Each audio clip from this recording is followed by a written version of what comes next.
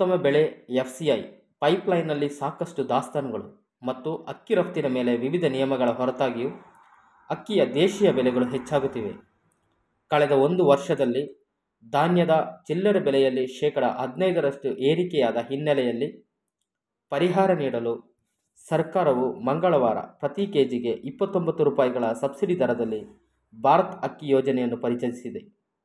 Subsidy ಅಕ್ಕಿ ಐದು K G ಮತ್ತು ಹತ್ತು ಕೆ ಜಿ ಪ್ಯಾಕ್ಗಳಲ್ಲಿ ಲಭ್ಯವಿದ್ದು, ಆಹಾರ ಸಚಿವ ಪಿಯೂಷ್ ಗೋಯಲ್ ಅವರು ರಾಷ್ಟ್ರ ರಾಜಧಾನಿಯ ಕರ್ತವ್ಯ ಪಥದಲ್ಲಿ ಅಧಿಕೃತವಾಗಿ ಭಾರತ್ ಅಕ್ಕಿಯನ್ನು ಪ್ರಾರಂಭಿಸಿದರು.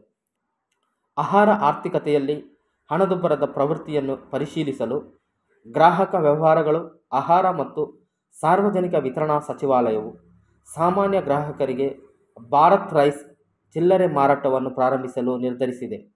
ಮೊದಲ ಹಂತದಲ್ಲಿ NAFED N C C F ಮತ್ತು ಕೇಂದ್ರೀಯ ಭಂಡಾರ್ ಎಂಬ ಮೂರು ಏಜೆನ್ಸಿಗಳ ಮೂಲಕ ಭಾರತ್ ರೈಸ್ ಬ್ರ್ಯಾಂಡ್ ಅಡಿಯಲ್ಲಿ ಚಿಲ್ಲರೆ ಮಾರಾಟಕ್ಕೆ ಐದು ಲಕ್ಷ ಮೆಟ್ರಿಕ್ ಟನ್ ಅಕ್ಕಿಯನ್ನು ಹಂಚಿಕೆ ಮಾಡಲಾಗಿದೆ. ಇದಲ್ಲದೆ, ಕೇಂದ್ರವು ಕಳೆದ ವರ್ಷ ನವೆಂಬರ್ನಲ್ಲಿ ಔಪಚಾರಿಕವಾಗಿ ಭಾರತ್ ಆಟಾ ಎಂಬ ಬ್ರ್ಯಾಂಡ್ ಹೆಸರಿನಲ್ಲಿ ಸಬ್ಸಿಡಿ ಗೋಧಿಯ ಮಾರಾಟವನ್ನು ಪ್ರಾರಂಭಿಸಿತು. ಇದು ಸಹಕಾರಿ ಸಂಸ್ಥೆಗಳಾದ NAFED, N C C F ಮತ್ತು ಕೇಂದ್ರೀಯ ಭಂಡಾರಗಳ ಎಂಟುನೂರು ಮೊಬೈಲ್ ವ್ಯಾನ್ಗಳು ಮತ್ತು ಎರಡು ಸಾವಿರ ಬೆಸಮಳಿಗೆಗಳ ಮೂಲಕ ದೇಶಾಂತ್ಯದಂತ ಹರಡಿದೆ.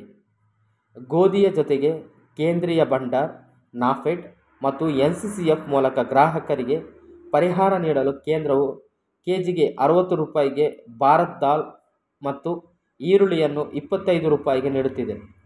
ಭಾರತ್ ರೈಸನ್ನು ಮೊಬೈಲ್ ವ್ಯಾನ್ಗಳು ಮತ್ತು ಮೂರು ಕೇಂದ್ರ ಸಹಕಾರ ಏಜೆನ್ಸಿಗಳ ಭೌತಿಕ ಮಳಿಗೆಗಳಿಂದ ಖರೀದಿಸಲು ಲಭ್ಯವಿರುತ್ತದೆ. ಮತ್ತು ಇದು ಶೀಘ್ರದಲ್ಲಿ ಇ ಕಾಮರ್ಸ್ ಪ್ಲಾಟ್ಫಾರ್ಮ್ಗಳು ಸೇರಿದಂತೆ ಇತರ ಚಿಲ್ಲರೆ ಸರಪಳಿಗಳ ಮೂಲಕವೂ ಲಭ್ಯವಿರುತ್ತದೆ.